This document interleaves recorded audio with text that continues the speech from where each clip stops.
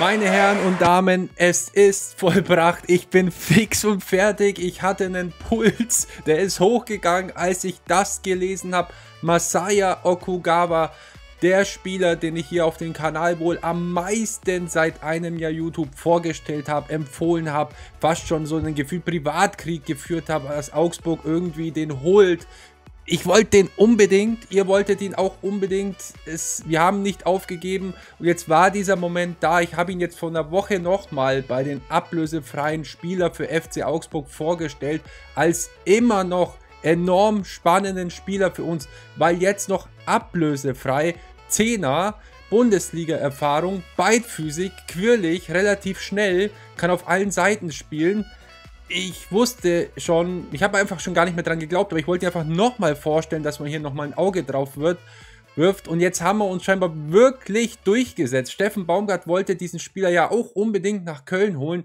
Ich weiß gar nicht, ob ich, ich bin wirklich nur noch glücklich, Jungs. Ich möchte so viel Kommentare und Daumen nach oben hier haben von euch, dass hier wirklich, das ist wirklich unglaublich. Ich, das ist wie, als hätten wir diesen Spieler verpflichtet. So fühlt sich's gerade an. Boah, bin ich gerade happy. Masaya Okugawa, ich weiß gar nicht, ob ich ihn überhaupt noch vorstellen soll. Äh, ich habe so viel über diesen Spieler gesprochen, dass, glaube ich, alle schon einen Burnout hier auf dem Kanal haben. ich bin einfach nur happy. Ich lese euch erstmal das Ding hier vor, was die Augsburger Allgemeine schreibt. Danke hier auch an die News der Augsburger Allgemeine.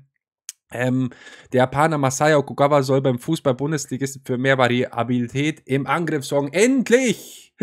Der 27-Jährige kommt ablösefrei und wird drei Jahre unterschreiben. Also drei Jahresvertrag, auch eine tolle Sache. 27, sehr gutes Fußballalter, bringt auch jetzt eine gewisse Erfahrung mit. Hat in diesem Jahr auch ähm, in 30 Spielen, meine ich, waren es 15 Scorerpunkte gehabt, obwohl Bielefeld abgestiegen ist. Also das ist richtig gut. 10 Assists, 5 Tore, gibt uns Assist und Tore. Ich werde dazu noch später noch was sagen, was ich aus Bielefelder Kreisen über ihn gehört habe. Ich hatte ja da schon Kontakte zu Bielefeldern. So reingesteigert habe ich mich bei diesem Spieler. Der FC Augsburg bastelt weiter an einer neuen Mannschaft für die neue Bundesliga-Saison. Nach Information der Redaktion werden die Augsburger Okugawa verpflichten. Äh, Dreijahresvertrag haben wir. Letzte Details, letzte Details sollen nächste Woche geklärt werden, äh, sind noch zu klären. So steht etwa der Medizinsteck noch aus, ehe der Vertrag wohl in der nächsten Woche unterschrieben wird. Herrlich. Vielleicht wird er auch mit den Trikots, vielleicht wird er mit Tim Breithaupt zum Beispiel bei der Vorstellung der neuen Trikots dann ja auch involviert sein. Das kann ich mir gut vorstellen. Mit Okugawa kommt ein vielseitiger Offensivspieler, der in der abgelaufenen Saison in 30 Partien 5 Tore und 10 Vorlagen beisteuerte, 1,77 Meter groß, sehr wendig und vor allem beidfüßig, beidfüßig, was eine gewisse Variabilität verspricht. Seit Juli stand er in Bielefeld unter Vertrag ähm, und musste zwei Abstiege miterleben. In Augsburg soll ihm das nicht passieren. Und bei Breithaupt übrigens auch keine Bonuszahlungen laut Augsburger Allgemein. Jetzt mal noch ganz nebenbei auch Wahnsinn. Also man kann jetzt sagen, was man will. Das ist wirklich für mich ein Transfer, über den ich mega mich freue. Ich glaube, ihr merkt es auch. Ich bin total aufgeregt. Ich kann kaum so seriös runtersprechen, wie ich sonst mache. Ich bin wirklich überglücklich. Ich habe wirklich, es ist, es ist so eine Erleichterung, weil das ist etwas, was uns fehlt. Wir haben ja auch mit Yachel Kuh, der war ja ein ähnlicher Zehner-Typ hinter den Spitzen, enorm gute Erfahrungen ja hier gesa gesammelt. Allgemein mit Asiaten ähm, haben wir ja schon öfters es probiert und es lief gar nicht immer so schlecht, muss man wirklich so sagen. Und jetzt haben wir so einen quirligen Spieler, der links außen, rechts außen spielen kann, hängende Spitte, Zehner, vor allem Steckpässe spielen kann. Und das ist meine Information aus Bielefeld. Ich habe es, glaube ich, schon beim letzten Video erwähnt. Ich habe da mit drei Bielefeldern Kontakt gehabt. Immer wieder gefragt, hey, wie findet ihr den denn? Die haben auch alle gesagt, der hat in der Liga nichts zu suchen. Er ist eigentlich zu gut, ist aber jetzt auch ein Spieler, also man, er ist, über, er ist gut, ne? Bundesliga-Reihe, viel zu gut für die zweite Liga, haben ja alle bestätigt und der passt auch, der wird uns auch helfen. Aber auch um eine kleine negative Sache aufzuzählen, er hat auch Spiele gehabt, wo er ein bisschen untertaucht, aber auch bei den untergetauchten Spielen immer wieder dann aus dem Nichts einen Assist geliefert hat. Sieht man, sieht man auch seine Qualität. Der findet dann irgendwann im Spiel schon öfters den Raum und steckt dann den Pass im richtigen Moment durch oder hat eine Aktion, selbst in den schwachen Spielen. Es gibt auch Spiele, wo er halt natürlich nicht performt. Aber an sich ist er ein toller Spieler, gerade diese Beidfüßigkeit und hinter den Spitzen. Es fehlt uns ja extrem und Flügelfähigkeit, relativ schnell, Dribbelschlag, quirlig, intelligent, ähm, guter Spieler. ich lasse es dabei. Ich lasse es einfach, glaube ich, dabei heute. Zwischen den Räumen gut. Einfach das, was uns fehlt. Mein Gott, das ist ein Transfer, wo ich, ich war, glaube ich, noch nie so happy. Klar werden auch ein paar sagen aus der zweiten Liga, aber Leute, der hat überragend da gespielt. Das, ist, ähm, das sind Top-Stats. Ähm, er, ist, er ist ja bei einer Mannschaft, die abgestiegen ist, hat er 15 Scorer-Punkte gemacht. Ne? Die augenscheinlich dieses Jahr überhaupt nicht als Team funktioniert hat.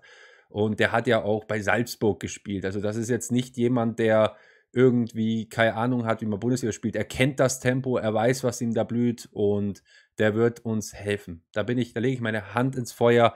Das ist ein Transfer, den ich unbedingt wollte. Da stehe ich auch zu und ist eine super Sache. Wir waren schon scheinbar ja im letzten Sommer an ihm dran. Da haben wir uns ihn ja auserkoren als absoluten Wunschspieler. Bis zum letzten Sekunde haben wir gehofft, dass er noch kommt. Und da ist es scheinbar eine Ablöse gescheitert, weil Bielefeld wollte nicht runtergehen. Die hatten eine Klausel von 5 Millionen. Da haben sie gesagt, zahlt er die 5 Millionen, kriegt er ihn sonst nicht. Ne, die Ausstiegsklausel war da. Und durch den Abstieg von Bielefeld ist es einfach so gekommen, dass man diesen Kick halt noch ablösefrei bekommt. Deswegen musste ich ihn auch unbedingt nochmal in dieses Video reinpacken, dass man sich das wirklich nochmal überlegt, ob man hier nicht attackiert.